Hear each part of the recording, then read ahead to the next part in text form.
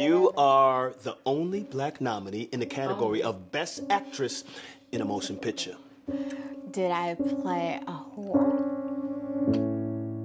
So you still want an Oscar? I think what separates this is the idea that we simply want to be recognized for our work. Dr. King and fight for no award show. If Dr. King was an actor, he would have. And the award for Best Actress goes to. Wow! wow! I like to think my agency. So an NAACP Image Award wouldn't feel When? I said that I was a leading lady, you believed in me.